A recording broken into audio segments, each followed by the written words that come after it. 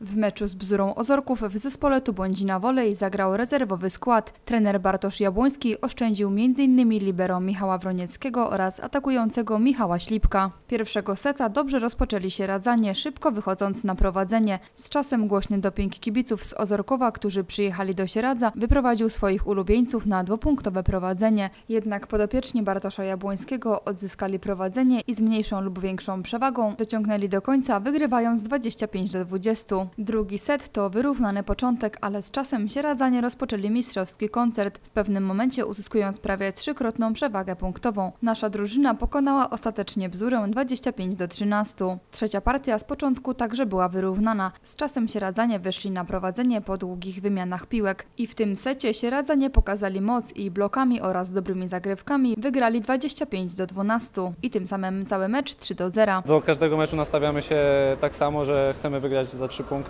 Pojechaliśmy do Rząśni e, w pełni skoncentrowani i no, osiągnęliśmy sukces. Co prawda pierwszy set nam nie wyszedł, Rząśnia zagrała bardzo fajnie zagrywką i mieliśmy ciężko przyjąć ich e, silne zagrywki, ale potem udało nam się odbudować i wygraliśmy za trzy punkty, co pozwoliło nam zająć pierwsze miejsce w tabeli.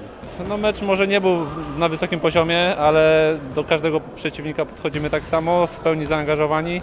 Myślę, że było- to widać, że staraliśmy się utrzymać koncentrację przez cały mecz.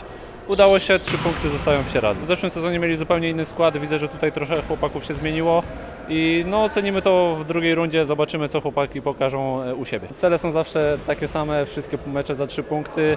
Jak się runda ułoży, to, to wszystko zależy od naszej dyspozycji i dyspozycji przeciwników.